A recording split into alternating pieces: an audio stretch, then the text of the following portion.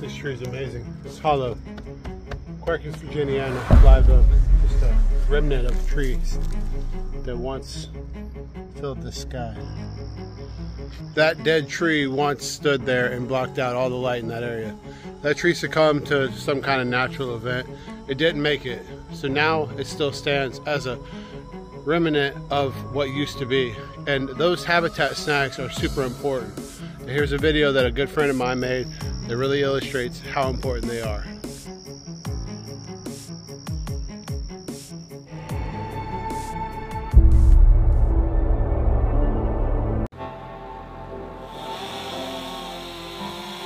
I think that as a, an arborist especially, we have some moral obligation to do what's best for trees and habitat. That's part of the reason you become an arborist because you want to learn more about trees. I'm Yuri. I'm the forest entomologist at the University of Florida and I study habitat snags.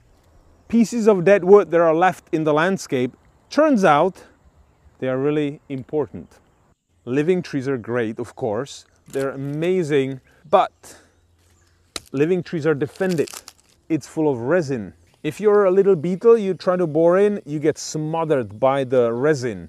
And how much life they actually support, eh, they're really well defended, so not so much. Dead trees, on the other hand, are undefended. Like this pine is dead. And what I like to say often is, tree really starts living when it dies. It stops being defended by its chemistry. It attracts life. It's like a storage of nutrients. If you look closer, it's full of holes. Every single one of these holes supported a bug, and then another bug, and then they support birds and lizards. You know, they are called habitat snags. In the arboriculture industry, they're called woodpecker poles. It doesn't matter, it's the same thing. Woodpeckers are just one of many animals that depend on dead wood. I always make sure that when I'm getting rid of a tree, I work with my arborist to cut it at the top, remove the top, that's dangerous, but leave the trunk standing.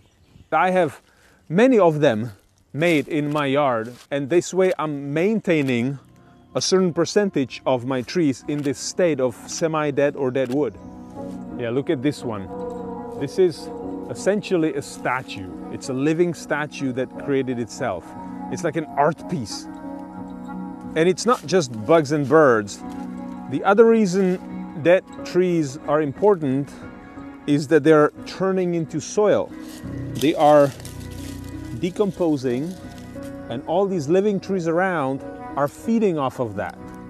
That's the kind of time scale that we rarely think about. These living trees around here need that dead tree. If we didn't leave dead wood in our landscapes, we're removing all the nutrients.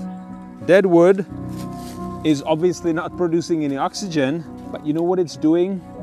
That's the carbon that we are putting back in the soil. That's the most reliable storage of carbon that we have. Dead wood to the soil. Every one of these allows me to feel like a steward of the land. We all can be stewards of a little piece of land. And together we can make a huge change on a landscape or urban level.